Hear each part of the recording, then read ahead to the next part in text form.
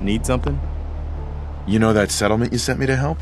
They've decided to join the Minutemen. That's great news. I knew you were the right person for the job. By the way, you should have one of these flare guns. You can use it to signal for help from any nearby Minutemen. Not much use yet, but once we have more allied settlements, you'll have help whenever you need it.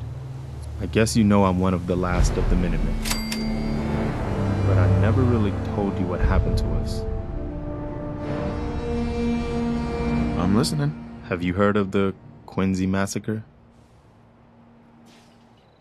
What was it? I thought everyone in the Commonwealth knew about that by now. Where the Minutemen betrayed each other and the people they were supposed to protect. I was with Colonel Hollis's group. A mercenary group called the Gunners was attacking Quincy. The people there called for the Minutemen to help. We were the only ones that came. The other groups, they just turned their backs on us and the folks in Quincy. Only a few of us got out alive. Colonel Hollis was dead, so I ended up in charge of the survivors. We never found a safe place to settle. One disaster after another. You saw how it ended in Concord? I know how it feels to be the last survivor. Yeah, I guess you do. That's why I'm talking to you.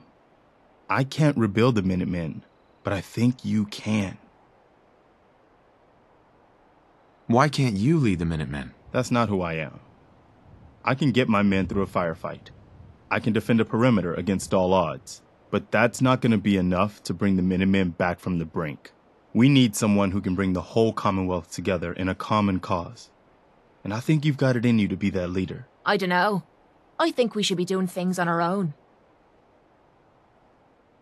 What makes you think I can do this? You saved us and Concord. There wasn't anything in it for you. You had your own problems to deal with, but you did it anyway. That kind of selflessness has been in mighty short supply around here for quite a while. Can you explain what the Minutemen are all about? We're citizen soldiers. The people of the Commonwealth banding together to protect ourselves and decide our own future. That was the original idea, and it was a good one. The Minutemen fell apart because our leaders forgot what we were supposed to stand for. I think you're the one who can bring the Minutemen back and bring the whole Commonwealth together. No, I'm not your savior. I have my own problems to deal with. Glad you're thinking with a clear head. I get it. You can't take care of other people's problems when you're still overwhelmed by your own. But one day, I hope you change your mind and accept my proposal. The Commonwealth needs you.